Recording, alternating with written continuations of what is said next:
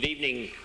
Uh, it's a great pleasure for me to be able to welcome Sarah Chayes back to Harvard, and particularly in the context of the MPP-1 spring exercise.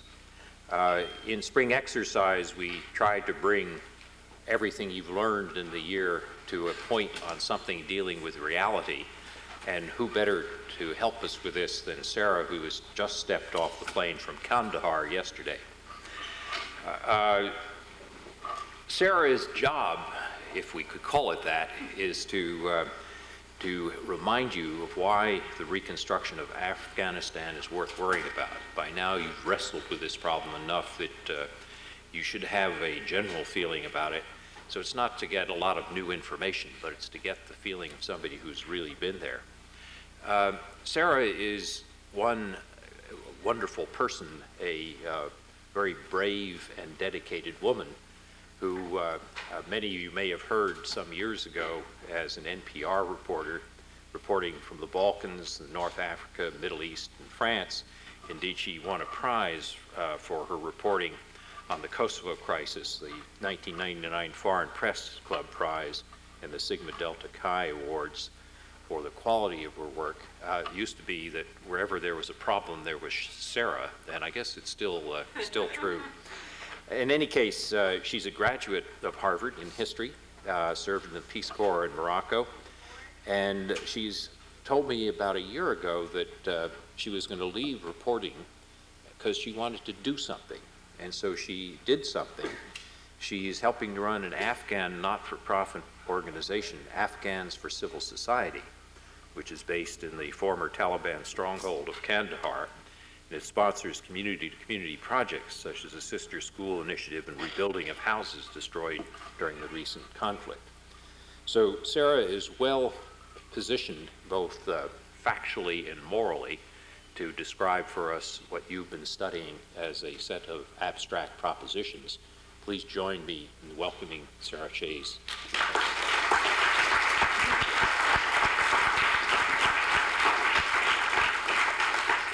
Thank you very much, Dean Nye. It's, uh, it's a privilege to be here and to have you introduce me.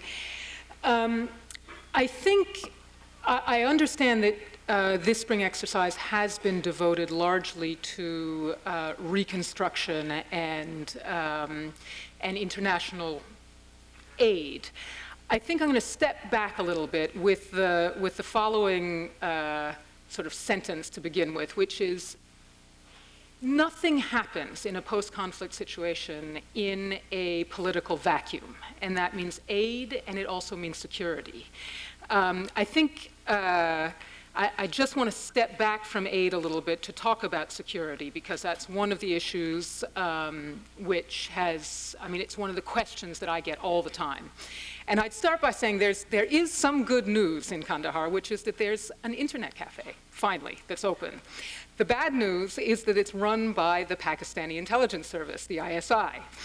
Um, the other day I was there pulling down an article uh, in the Washington Post about, uh, about Kandahar and the governor of Kandahar, which some of you may have seen, and in which I'm quoted. Um, so I'm pulling this down, and one of the Pakistanis comes over and says, Miss Sarah. Now, I had never known that these guys knew my name before you have been quoted in the Washington Post saying some very bad things about the governor. I said, oh, really? he says, have you read the article? No. Well, you should look in Google and you should look at that article. And Mr. Pashtun, the governor's uh, basically factotum, is very angry at you. Uh, this governor is named Gul Agha Sherzai, and he is a warlord. You've heard about those, and we're actually living under one of them. And I'll be coming back to him. In other words, I'm going to do it again. I'm going to say very bad things about the governor again. The United States uh, military, in this case, because those are the Americans who are most visible in Kandahar, works almost exclusively with this warlord. Now, there are a number of reasons for that, and I'll come back around to them.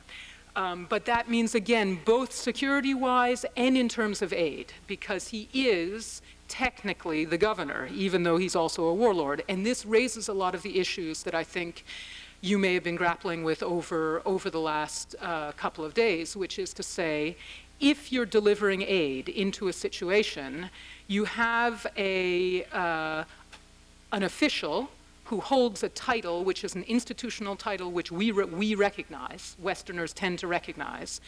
What do you do with your aid?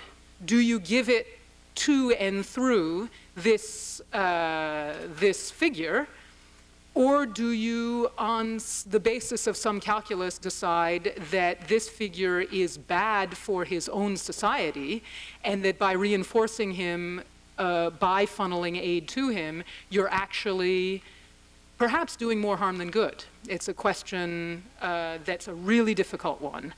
Um, but let me just go through a, a, story. About three weeks ago, I think, maybe a little more, uh, a worker with the International Committee of the Red Cross was quite nastily ambushed and um, assassinated north of Kandahar on the main road leading to an extremely poor and isolated province to the northwest called Uruzgan. And this guy, I mean, it was a classic. The guy was, he was in a two-car convoy. The convoy was pulled aside. Uh, he was hauled out. Uh, the folks who ambushed the convoy made a phone call. There are four people in the car, three Afghans and one foreigner. Do you want four people killed or one person killed? The answer comes back, we want one person killed, and the guy is shot against the side of the car. Um, now, I looked into this naturally, um, and there's some really interesting details about this whole story. It is a case, I mean, a lot of people, as I say, talk about the security situation in Kandahar. It's not as bad as uh, it may seem from here. However, there clearly is an uptick in what we would consider extremist or Taliban related activity. But even that takes some analysis. The people who perpetrated this came in from Pakistan about a week prior to the assassination. They were immediately picked up. In other words, they didn't, you know, it, it's very difficult actually to hide in a country like Afghanistan. It's not uh, although it's a rugged, I guess this is the only one that's working, so I'll lean over this one. Um, it's a rugged and forbidding landscape and all that in a way that makes it even harder to hide in because there are very few roads and because villagers know everybody in their village. They know everybody in the area. And this was something like a couple hundred armed militants infiltrated in from Pakistan who had been training in training camps, the same ones that, that the United States military, military chased out of Afghanistan, are now just over the border in Afghanistan. Um, and they showed up in, in this region, which is right on the border between two provinces. And it's, it's a, in a lawless region, it's a particularly lawless zone because it's a border zone. Um, a number of people, as I said, picked up the arrival of a couple of hundred armed militants, naturally. Uh, one person that I know uh, called down to Kandahar to a security official and said, look, there's a bunch of people shown up here um, you guys should get something going from Kandahar, you know, some kind of a expedition to, to chase them out. That person went to the governor. The governor said, yeah, we'll see about it next week. By next week, the ICRC uh, employee had been, had been killed. Um, another person I know actually infiltrated the group and knew quite a bit about them, but again, because, uh, because of the governor's uh, stranglehold on most of the security services, uh, the person I know was not able himself to send men up to do anything about it. Um, the people involved come from the governor's tribe. The Pashtun ethnic group is divided into two main branches, and those two main branches are divided into a number of different tribes. Kandahar the power in Kandahar is largely uh, held by three different tribes at the moment, and you really have to know this. I mean, this is the kind of detail that makes delivering both security and assistance um, meaningful. If you don't know who you're giving it to, giving aid to, if you don't know who you're working with when you're doing security operations, you make a muddle of it. This, uh, this group was from the Barakzai tribe. There's absolutely no way the governor didn't know that they were coming in. I mean, this is, this is, this is how things work. He's the leader of that tribe. There's no way he didn't know these people were coming in.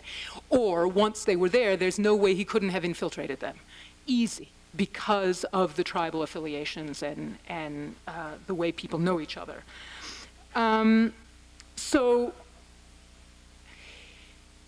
that's the incident. The lesson, the, the, the analysis is that working with this particular warlord, and I would say warlords in general in, in Afghanistan, is not just a kind of expedient as you may have, have heard, uh, that, oh, well, we had, to, we had to work with warlords during the war against the Taliban uh, because there was nobody else around, there was nobody else who, who, who was armed, who could fight, etc. And, you know, now we're still working with them because, you know, because relationships were allowed to continue. Um, it's not just a sort of inconvenient, oh gosh, you know, it's really ugly out there in the real world. You do have to work with bad guys sometimes it's actually counterproductive. Um, and let me explain why in, in a couple of points. One is that the warlord's interest is bound up in continued lawlessness, in a continued level of extremist activity, because their livelihood is bound up in that. They, they get paid for going out on operations, uh, they get paid by the Americans. So they want to go out on operations and they want to catch enough people to satisfy the Americans, but not quite enough to turn off the spigot.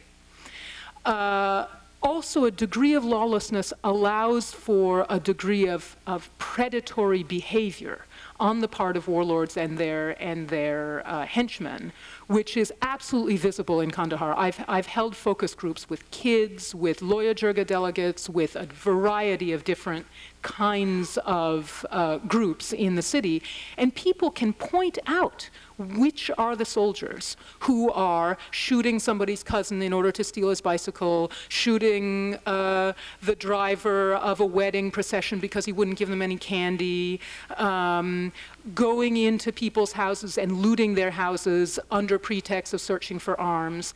And, you know, I will ask people, what uniform were these soldiers wearing?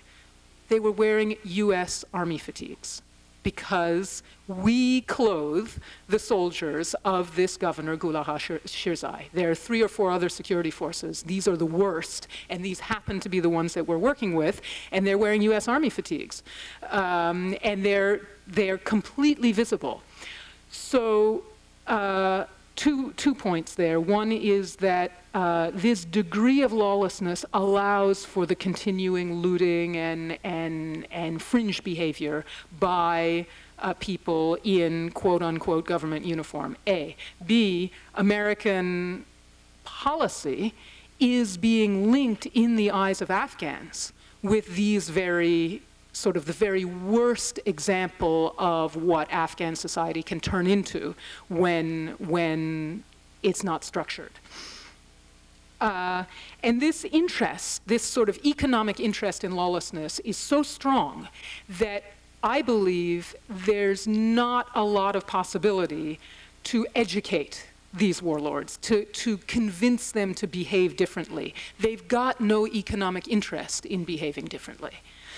Um, second point is these guys have um, years and decades of experience in working uh, benefactors. I mean, and this goes all the way, sorry, this goes all the way back to the 19th century and the Great Game and the British and the Russians, and Afghans are very good at playing their patrons off one against the other.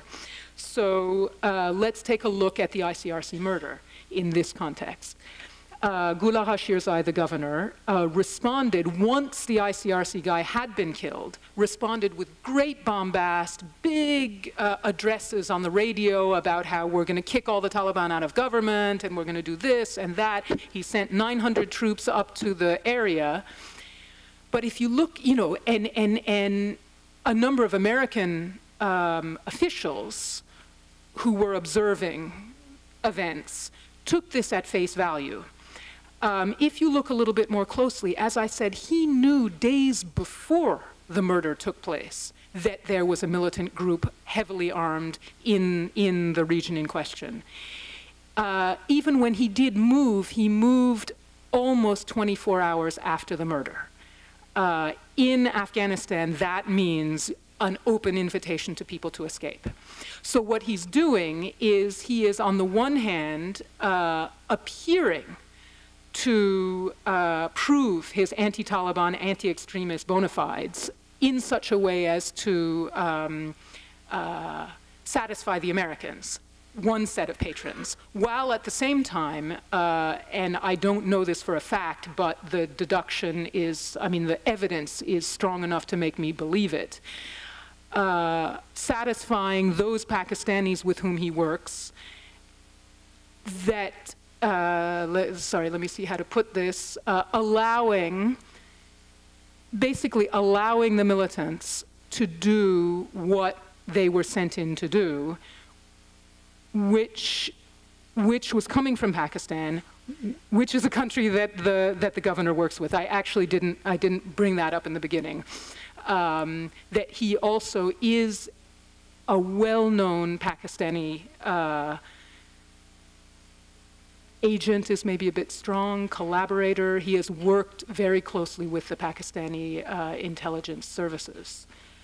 Um, the third point, the third reason that this, that this strategy of using warlords is counterproductive is that the population opts out.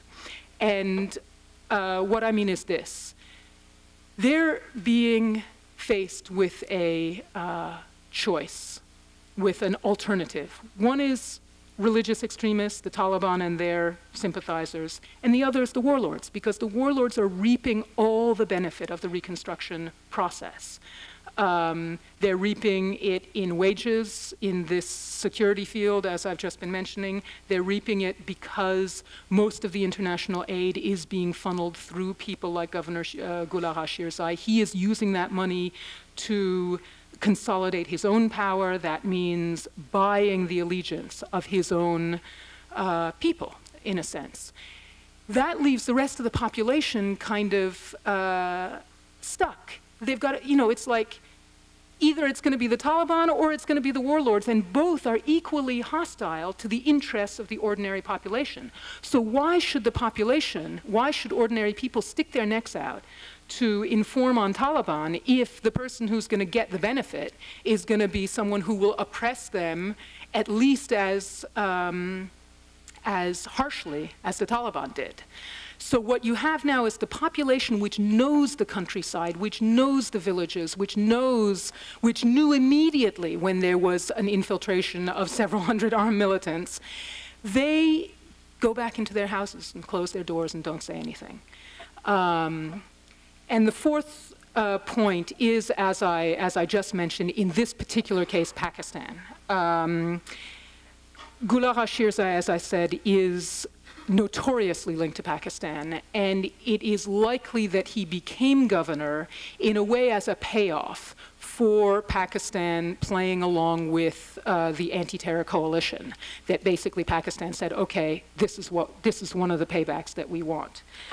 Pakistan is, has, over the last couple of decades, used extremism as a tool in a regional tactical equation. Um, and that means, the that means uh, extreme factions in the fight against the Soviet Union. It means the Taliban. It means extremists in Kashmir. And now it means extremists in Afghanistan yet again as a tool to destabilize the country. Um, now, these extremists who are coming back in may well have a bin Laden style Islamist international agenda. Um, Pakistan doesn't. Pakistan has a regional tactical agenda, and these, uh, these people are the foot soldiers. And there's every evidence that they're actually on uh, salary. Uh, they're hanging around Quetta, which is the town closest to the Afghan border in the south there, um, very well heeled, uh, as though they're waiting, as though they're waiting. Um, and the final point on that is uh, that, again, in terms of US policy, up until now, with the exception of maybe Mullah Omar, American policy hasn't been that interested in the Taliban. Americans are much more interested in Al Qaeda, they're interested in Osama bin Laden. Uh, Pakistan, by contrast, is not so interested in Al Qaeda because it was once Al Qaeda uh, uh, kind of fused itself with the Taliban, Al Qaeda having its own very much internationalist agenda that pulled the Taliban out of Pakistan's orbit and made the Taliban, uh, uh, uh, brought them out of Pakistan's control. Al Qaeda has too much of its own agenda to be useful in Pakistan's effort simply to destabilize Afghanistan. So, what you have happening now is that basically Pakistan is turning over Al Qaeda people in dribs and drabs, like uh, Khalid Sheikh Mohammed was the, was the most recent one. And I, I could see the impact that was having on US policymakers. Immediately, it became impossible to criticize Pakistan in any way uh, because, oh, they had just turned over this guy. Meanwhile, Pakistan is actually running training camps. The Pakistani army is running training camps from which uh, militants are infiltrating into Afghanistan and perpetrating the kind of crimes that that, wa- that, uh, uh, that was perpetrated against the ICRC worker. So I think I'll stop there actually and open the door to questions. There, there are basically two directions that conclusions could go in. One is that I could almost make this whole same argument uh, focusing on Reconstruction. In other words, given this kind of a context, how do you then channel Reconstruction dollars. And what's been happening up until now has been a kind of fig leaf or a shortcut where uh, people like USAID uh, say, well, Governor Gul Agha Sherzai is the governor after all, and we're here to shore up governing institutions, so we will basically run most of our money through him. Without looking at how is how did this person become governor? How is he perceived by the Afghan population? Um, how is he truly perceived by the central government? Things like, without really asking those questions. That's one direction we can go in. The other direction is to look at the military as policymakers, because, as I said, the largest visible presence of Americans on the ground in Kandahar is military. And uh, the military de facto are making policy uh, by working with Gul Agha Sherzai's men, they are having an enormous impact on the political structure and makeup of southern Afghanistan. And what's, what's interesting is that a lot of the analysis I just handed to you found its way into the hands of the uh, general who is in command of the US forces in Afghanistan. And an even harsher version, I would say. And rather than making me collateral damage, which is what one might have expected, he invited me to come see him. And we spent a couple of hours together. And then he sent me to the commander of the, of the base in, uh, in Kandahar. These guys are listening, in fact. I mean, they really listened to what I had to say. I think the problem is they didn't they don't really realize they're making policy. And so they don't take in the kind of, or they hadn't been taking in the kind of information that you need to in order to make good policy decisions, like who's in whose tribe, and this village is from what tribe, and this guy, who was he linked with before, and this kind of very personal, very precise information. And now that they've kind of been alerted to it, they are, they are actually listening. So I guess the point is um, that in Iraq, it would be nice if somebody would get to them a little bit sooner, maybe not 18 months later. Thank you very much, Sarah.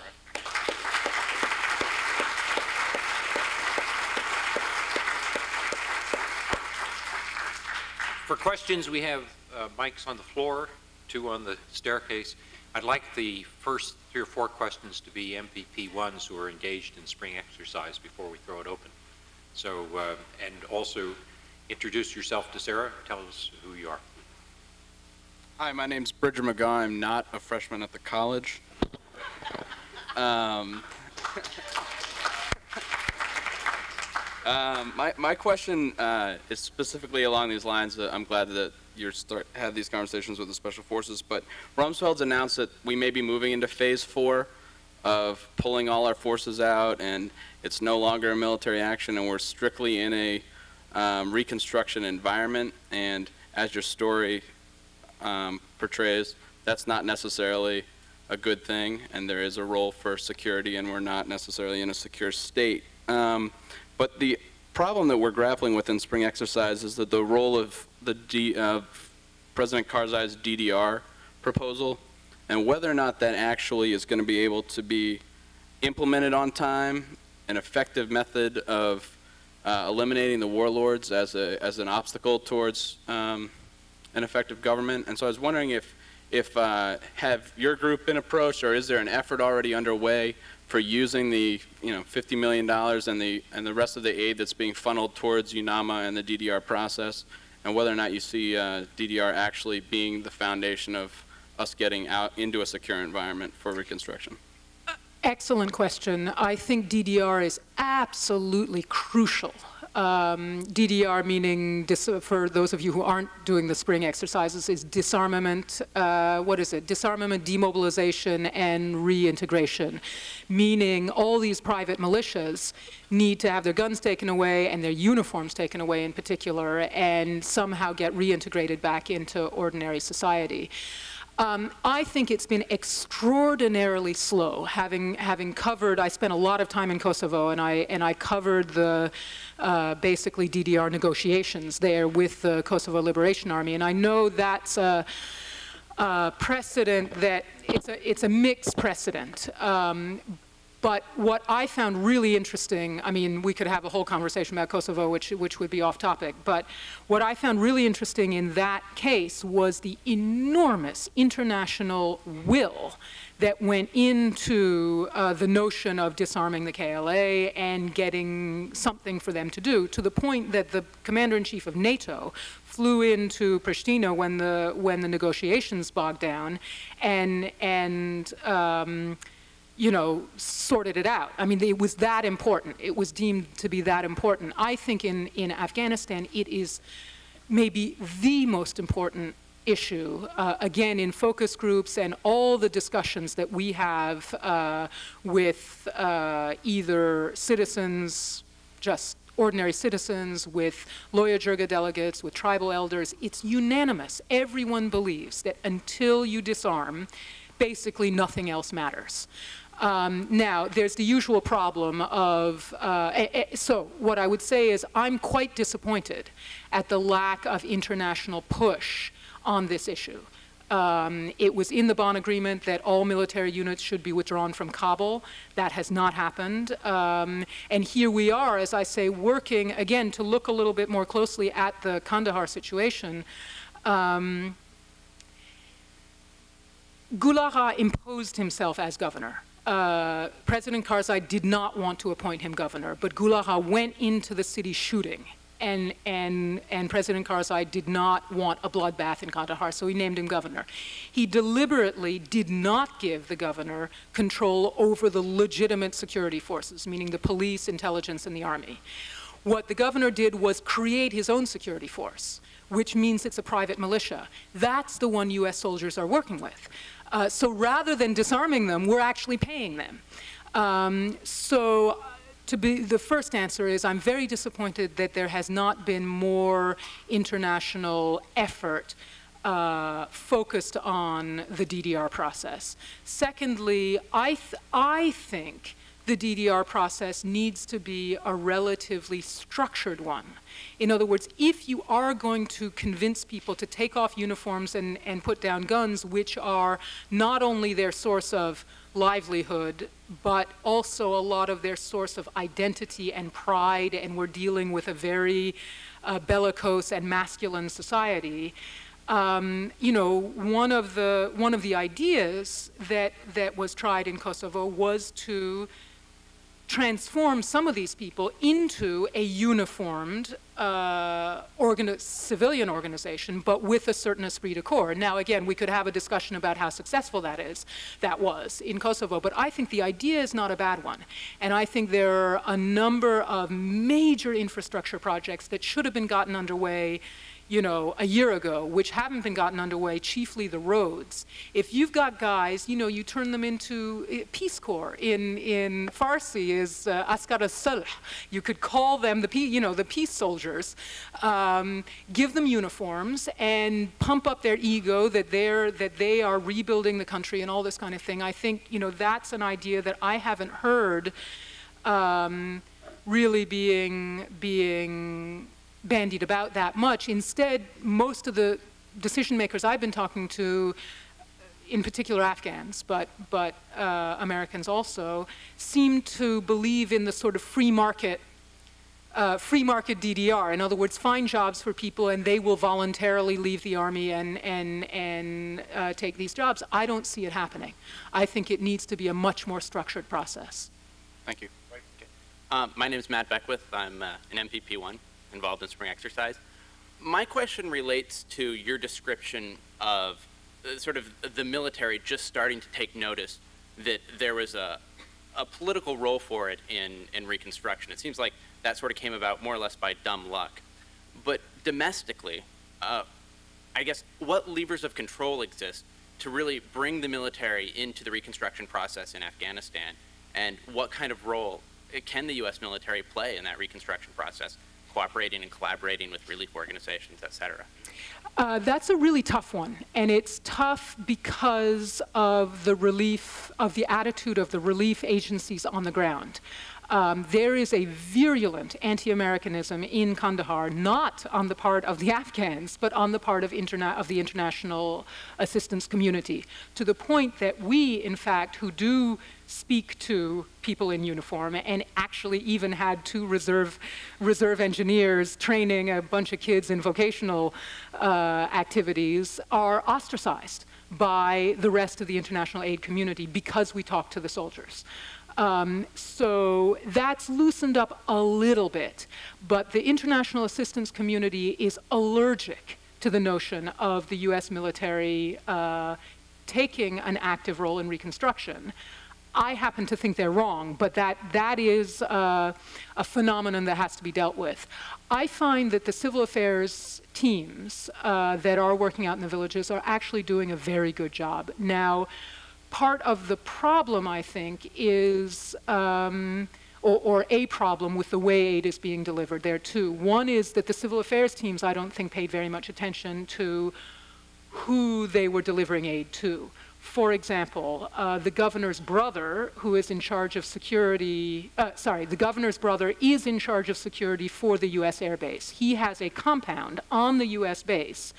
Bidding conferences for, um, for reconstruction projects are carried out in his compound those kinds, of, again, these are the kinds of things that you have to be alert to. You have to understand what that means in the context on the ground. That means that it's just going to be their people who get you know, who get the jobs, and most likely, most of the villages where the work is being done will also be Gul Agha Sherzai's villages. Um, uh, so that's that's one problem. A second problem has been the what I what I feel and what a num number of civil affairs officers also feel to be a an overemphasis on very quick, very cheap projects like rebuilding a school. It's mostly schools, clinics.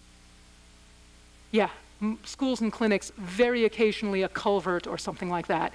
The Afghans were expecting, you know, they saw 5,000 US soldiers, and they've got a road leading to Kabul that I can't even begin to describe. It used to be a six hour drive. That meant you could get to Kabul and watch a movie and come back down. That meant you could get your grapes to market in Kabul.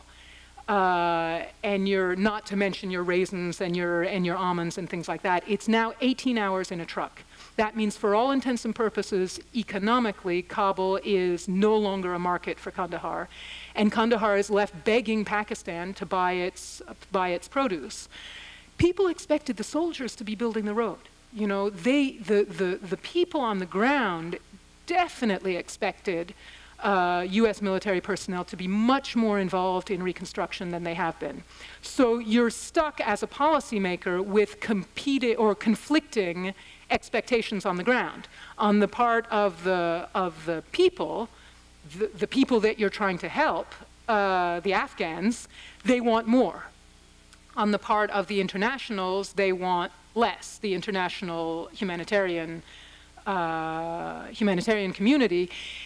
And then you've got the Pentagon, which says, "Hey, we're not bridge builders. We're, you know, we're Taliban hunters." So that, you know, what do we we know? What, you know, so it's it's with quite some reluctance, in fact, that the Pentagon even accepts this role of being part and parcel of the reconstruction process. I'm not sure that answered anything. Um, my name is PJ Caceres, MPP1 from California. Um, my question is, you, you just gave us a vivid picture, and we actually watched the video of, of your experience in Kandahar. Are we to generalize that the experience in Kandahar with aid is happening throughout the country? Um, or, and is there such a thing as a benevolent warlord? And is there any place that we could actually send aid and know that it's actually going to benefit the people? Yeah. That's, that's the real scary one because I don't want the conclusion here to be, you know, humanitarian aid doesn't, isn't worth giving. Um, I, think, I think the conclusion that I want people to draw is that it has to be given carefully and it's up to the people on the ground not to shirk their responsibility to understand the you know, to actually get down there in the oak tree roots and understand the, the situation before delivering aid. I do think that our experience is quite, is quite applicable. Now, that's just a guess, um, but I suspect that it's quite similar. Um, there are some places where there's more of a civil society uh, than, than in Kandahar. As far as benevolent warlords are concerned, the best candidate is the guy called Ismail Khan, who's in Herat, and who actually apparently has used a lot of the money that's come to him, including customs money, to rebuild the province and things like that. The problem with him is he really is a dictator. He has sole control of the region um, and has committed, all of them commit human rights abuses, but, but he commits quite a lot, and he's just squashed any kind of dissent or debate in, in the community, and he's very closely linked to Iran. So I do not believe, I actually do not believe in the benevolent warlord thesis and the notion that, oh, well, if we work with them for a while and we work with them for long enough, they'll see that our expectations are this and they'll slowly, slowly start to clean up their act um, I think these guys should be removed. I think, um, not to mention the fact that they're all war criminals, you know. Um, hello, my name is Jeff Masters. I'm from the UK at MPP1. My question follows uh, from what PJ was asking, um, which is that I really only know the name of one regular person um, in Afghanistan, and that's uh, Haji Baba. right. and I was just curious as to whether the other houses in the village that you plan to build got built, and uh, if you wanted to comment on, on your experience. Yeah, it's a really interesting uh, kind of sequel. Uh, all the houses got built, um, and then, yeah. as, as my sister Eve, who's here, who's our U.S. coordinator, said, it just about killed us, but we got, but we got the houses built. Um, then what happened was as follows. The headman of the village, who is a notoriously greedy fellow, uh, expected us to build him a receiving room, a kind of guest room, out of burn brick and cement. And we said no. We said, first of all, we didn't have any more budget. Second of all, his house was not damaged by the bombing, and this was about repairing those houses that were damaged in the bombing. And so he told us we couldn't come back. So we had been working, we have an income generation project with women, uh, which focuses on this kind of embroidery, which is very uh, traditional Afghan embroidery, uh, Kandahari embroidery, and we were working with his, in, his women in particular. We were working with his family, and he said we couldn't come back. And so we sort of tearfully said goodbye to the, I mean, we had a long session with the women, and they, first they begged us to make the room, and then when we talked to them some more, they said, he's crazy, he's so horrible, and then it turns out he beats them, and he, you know, and all this kind of thing. And, and one of them, who's also the best embroiderer, actually was a good coalition builder. She went in herself to talk to him, then she got all of his wives in to talk to him, then she got all of the husbands of all the women in to talk to him, and nothing doing. And so we said, we're really sorry, but we can't, we can't um, give in to that kind of blackmail. That's one sequel. The next sequel is that this story of the stone found its way into the Washington Post article that I mentioned to you at the beginning of this talk. The day after that article appeared, um, bulldozers showed up at that quarry and bulldozed dirt into the place where uh, Haji Abdullah, the stone quarry guy, was still extracting stone in order to make gravel. He was still allowed to sell gravel, just not foundation stone. So they have now completely walled up his side of the quarry and he's not allowed to work there at all anymore. So there's, you know, I mean, I feel pretty badly about that because it's not my livelihood. I mean, it was easy for me to make a point in a newspaper article, and I hope that that will eventually um, lead to better things. But in the short run, he's the one who's suffering, and that's what often happens in these cases. Hi, Sean Davis, MPP 1. If the warlords and their forces were to disappear tomorrow, uh, would there be a security vacuum? And who would fill it, given the current size of the Afghan National Army, which is pretty darn small, and also the fairly small size of the international force, 40, 4,500 compared with, say, 30,000 in Kosovo? Um, first of all, I actually think the warlords and their and their militias are creating the security problem. I don't buy the argument that they are providing a modicum of security. I actually think they're the ones who are creating the insecurity. So that's one answer. And the second answer is, of course, they wouldn't just disappear. You would replace, I mean, again, in a a country, as fledgling a country as it is, you can't remove a governor without replacing him with somebody else. And, and this would be a step-by-step process. So I don't actually see there being a, a, a major security problem. But if I, if I could just follow up uh, Sure. quickly, uh, who ultimately then will provide the security across Afghanistan um, if, if the army is, is only, only has three brigades after uh, a year? Uh, I think there, there are a couple of answers to that. One is that not all security forces are private militias. For example, in Kandahar, there is a police force run by a relatively decent guy. Now, he is also a former commander, uh, and a lot of his force is loyal to him personally, but he is looking specific. First of all, he's been begging for civilian police training for a year and a half. And, you know, the, the supposedly Germany was going to be in charge of, of police, and I think they've been working in Kabul in a similar way uh, as the National Army, uh, trying to build a kind of national police force. But here's a guy who's saying, I've got a bunch of fighters on my hand. I want to turn them into cops. Please help me, you know. And and again, there has not been that much. There's been zero assistance forthcoming, but he's thinking in the right direction. He's also thinking about how to reassign, uh, you know, the sub,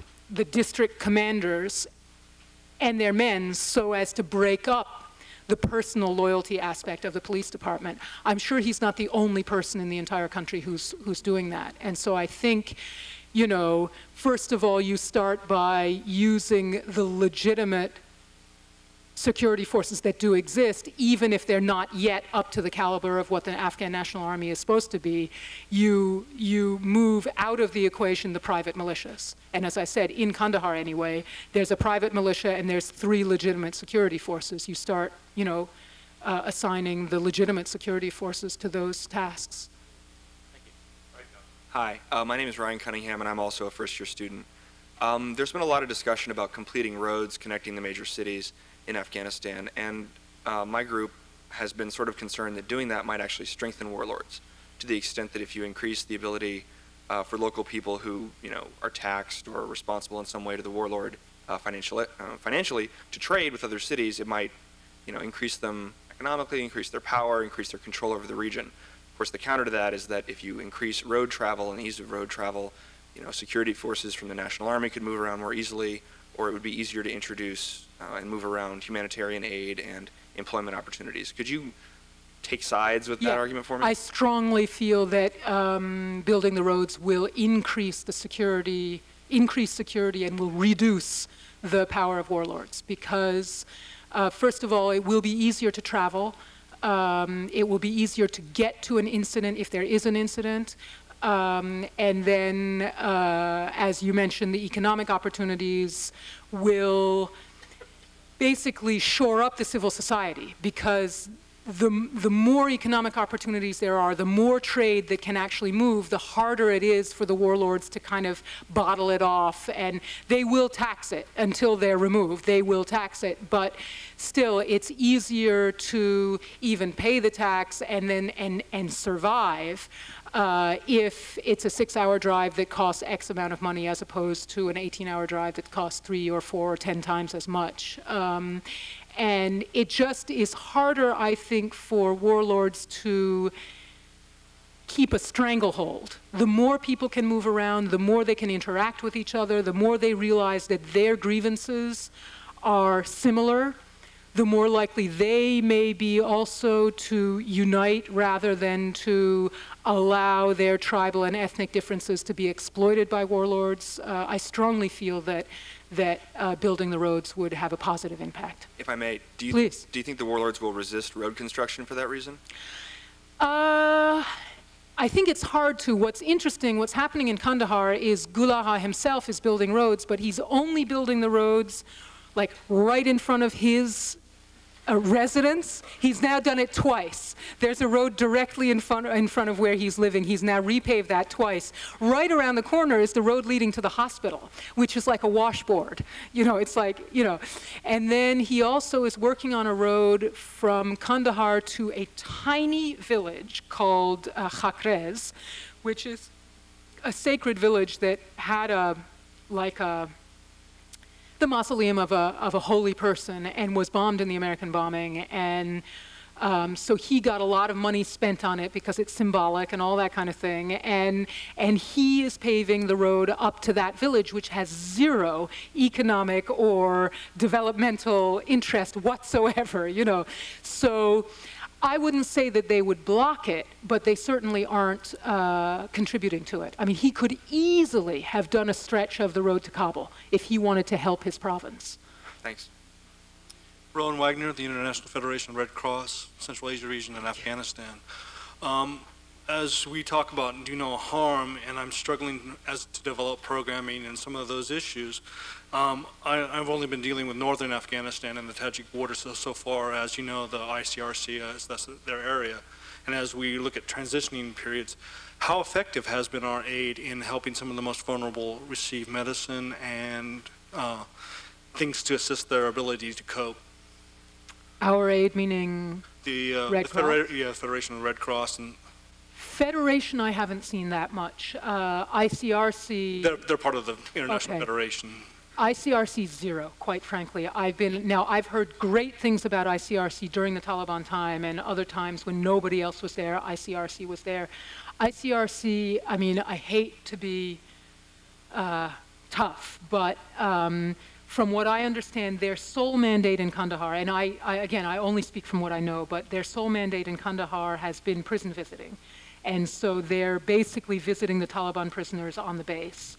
Um, I don't know if any of you remember there was a really nasty um, uh, mistake, military mistake, which was the strafing of a wedding party up in Derawat, uh, which is north of Kandahar. I drove up there with a truckload of medical supplies, which I got from ICRC, but only after beating down their door. I mean, I could not believe it because we had, you know, pretty horrific casualty figures were coming in. And, you know, basically I wanted to get some stuff up there. Um, and I remember, you know, basically the, the line of the person, of the uh, head of the station in Kandahar was, oh, well, we help the hospital in Kandahar, so any bad cases will come to the hospital and that'll be fine. It's a nine hour drive at the best of time over appalling terrain. You know, and so even that way of thinking, I was shocked. And it was very much sort of, we don't do windows. Um, in the end, since I was going up, I did get, you know, tons of tons of stuff. I got enough boxes to put in a in a four-wheel drive vehicle and drove it up there but they're not visible at all. Hi, my name is uh, Aaron Weisner. I'm also MPP1. Thank you so much for being here today. Um, Thank you. We, I've, in regarding the upcoming uh, constitutional process in the 2004 elections, do you, one of the things that was stated in the film is really not seeing too much of a difference between the Taliban and the warlords in terms of the day-to-day -day process of the, of the um, average person. But is there much hope that's being held for the, the um, legislative process and whatnot that, that's going to unfold? And what role do you see for the international community along those lines? That's wild because I know the constitutional process is absorbing everyone's attention in Kabul and a lot of attention here insofar as there is attention. Out down in Kandahar, it's like it doesn't exist. The process doesn't even exist. Partly, no one really knows what it's going to be elections for yet. Um, it's not clear whether it's going to be elections for direct elections for a legislature or a Loya Jirga again, or you know, all of this is still very vague, and so it's very hard for people to get their heads around it when nobody can really tell them what it's about yet. Uh, that's one issue. Um, a second issue is the registration process is going to be very uh, difficult. And uh, a group called the International Federation of Elections came down, and I kind of um, trotted them around town. And they were talking about, you know, like registration cards with pictures on them and things like that to make sure there's no fraud and all that. And I said, well, you know what? You can't possibly have a, registration cards with pictures for women. They said, what? I said, it's impossible to have pictures of women it's just not, well, even if it's a woman who takes a picture, I said, I can't take pictures of our women that we work with every day. So these, again, are the kinds of realities that I think it's really hard for us to get our, our heads around. And that means that the whole process, again, needs to be thought out very close to the ground. Um, the next problem is fear and the role of fear in the political landscape in Afghanistan. As you can imagine, it's a traumatized country, and that means that people, I'm just overwhelmed by how intimidated people are. Um, and, you know, the comment to me at this internet cafe was definitely intended to intimidate me, and it doesn't bother me, but if I had been Afghan, uh, and some of our people have come under pressure, and it really makes them want to change their behavior. And so, um, I, we've also been accused of working against the king. That's the latest, you know, kind of catchword for doing something the governor doesn't like. The governor is now wrapping himself in the cloak of the king.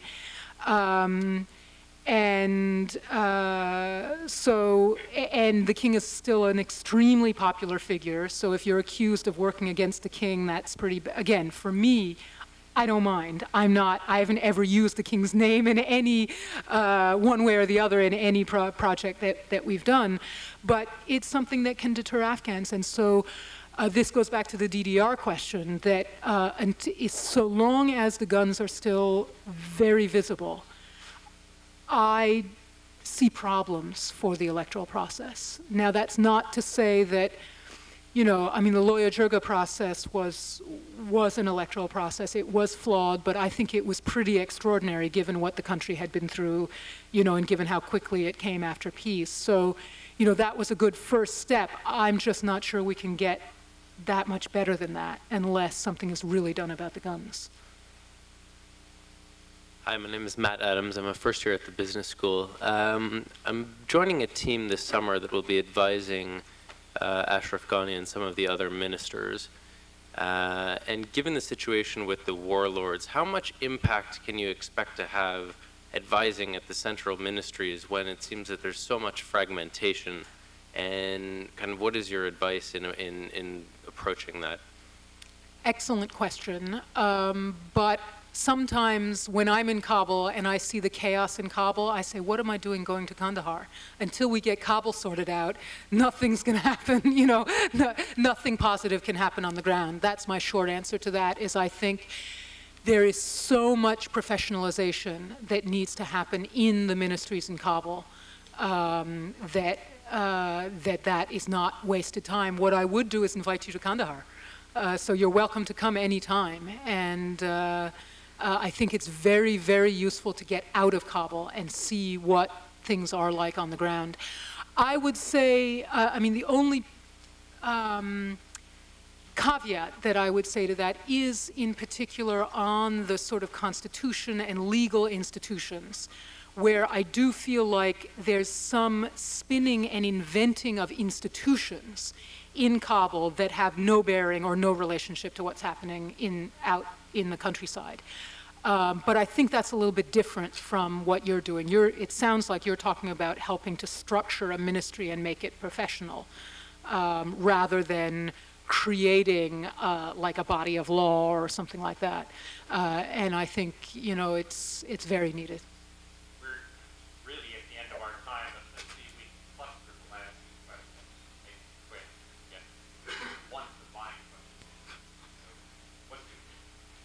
My name is Don Fraser. I'm a first year Master's in Public Policy student. And my question was more along the lines of the legal structure and how it enforces human rights. I wanted to know, I know that recently there's been a lot of talk about using the International Criminal Court to hold the warlords accountable for their crimes against humanity. Um, but is there going to be a way to hold other guilty parties accountable in the legal structure, especially since there is no legal structure right now? And how do you do that um, either using international aid or using domestic aid?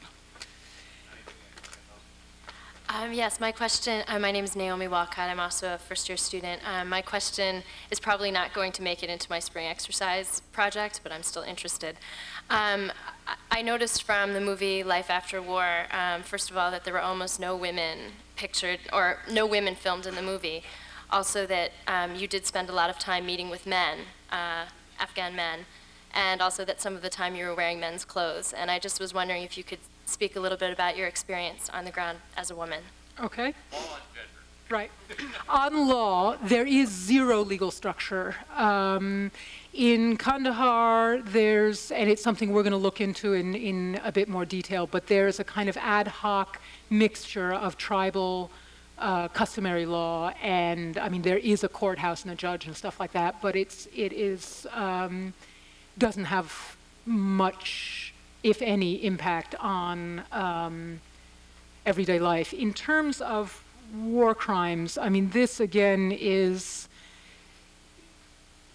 it's uh, the real dilemma um, because the place is still so volatile that I can't imagine any process inside Afghanistan in the next couple of years that, that, that could do anything but create more strife rather than less strife. Um, I could, you know, fantasize about a kind of two-tiered or three-tiered system where you would have uh, the worst ones going to the ICC, um, the, and everyone knows who they are. You know, I mean, that's the thing, and people are to some extent willing to speak out. At the Loya Jirga, the you know, big council last summer that, that, that uh, named President Karzai transitional president, there was a lot of frank talk uh, about, you know, what are you guys doing talking about religion, look at Kabul and what you did to it and things like that. I mean, everyone knows who they are. So I could imagine a, you know, one tier for the worst, the uh, legal, uh, some kind of a criminal tier for the next level down and then some kind of truth and reconciliation process. But I kind of think that's a fantasy for the moment because, um, again, the, the volatility and the fear is such that people really don't, the, don't talk. I mean, we're, we're, we're launching a radio station and I've been working on a history series and with our core team of journalists. And, you know, I mean, we'll have a discussion about, well, what do you want people to learn from this show, for example? And they'll say, oh my God, but we would have to say bad things about the Mujahideen. I said, well, is it true? And they would say, we saw it with our own eyes. And I would say, you know, but you can't, you know, there's still, e- and this is on the radio, let alone, you know, some kind of, some kind of a system. But I guess the first step is to collect evidence. I think that's the first and best way that international dollars could be spent on this is some kind of systematic, you know, and at times secret. You know, it could, it would have to be very discreet, but starting to collect evidence in a rigorous fashion, because I don't think that's happened. Gender. Uh, yeah, I do wear men's clothes. Uh, that happened when I first went into the region before the Taliban even fell. And what I found was that there were zero women on the street at all. Not Western, not, you know, so I kind of had a choice. It was like wear Western clothes, wear Pakistani women's clothes, wear a burqa, or wear men's clothes. And I wasn't going to wear a burqa, and wearing any kind of women's clothes would have collected you know, 200 people from a distance of 50 yards. So I thought, what's going to protect me at a distance of 50 yards? And that was wearing men's clothes, including these. What I'm wearing right now are actually typical Kandahari men's clothes. Um, so You know, and it worked. Now people ask me, you know, now, now, I've got the habit of it, and so now people ask me, you know, why, why are you wearing men's clothes? Or, you know, oh my God, it's a woman, it's a woman. I say, yeah, yeah, it's a woman. Um, you're a boy, it's a boy. um, I have a really odd position um, in that as a foreigner, I can be androgynous, and so I am allowed into male. It's true. Um, my mother is laughing. she thought I was a girl. um, recently, I have been working with a group of tribal elders who represent um, one branch of the Pashtun ethnic group, and we've worked quite a bit about. They, I sent them up to Kabul for some meetings with the president and with the U.S. ambassador and stuff like that. And so, as a result, I found myself in their council in the, the tribal council of the Giljais, um, talking to them about what they wanted to say and how to, you know, focus it and how to hone it down and who, what, you know, what sorts of grievances they should bring to the Americans, you know, all. And I looked around and I realized here I am running a Giljai tribal council and I'm this chick, I'm this American girl, you know. It's like life is too surreal, especially since. Uh, I would say about half the Taliban were Giljais, and I'm sure that there were a number of Taliban in this group. And so it's like, you know, this is really wild. That's not to say that I don't work with women. We do have a number of women's programs. We have, um, as I said, an income generation program based on this kind of embroidery and beadwork.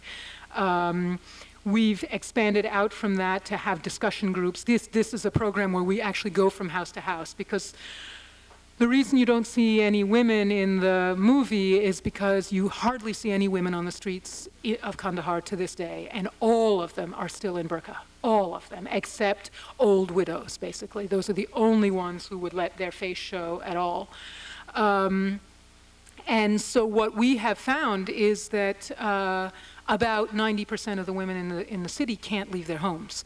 So if we were going to help women in a concrete way, we had to go to them. I mean, it's all very well and good to open a women's center and it would be full, but it would be full of 20% of the population. And indeed, what we have found is that a number of the projects targeting women are, um, it turns out all the women benefiting from them are Farsi speakers. Um, who are a distinct minority in Kandahar, uh, who are a little bit less uh, constrained than Pashtuns are. And so, because it happens to be easier, basically, you know, people open a center, the Farsi speaking women come, and people don't make the effort to reach Pashtun women. We do. Um, and now we started discussion groups in a couple of these centers. And the last one, I mean, it's absolutely dirt poor um, about 30 women. We had some Kuchis who are the nomads who heard about this, who are even poorer, who heard about it, and the next week were berating us, why didn't you invite us to your discussion group, you know.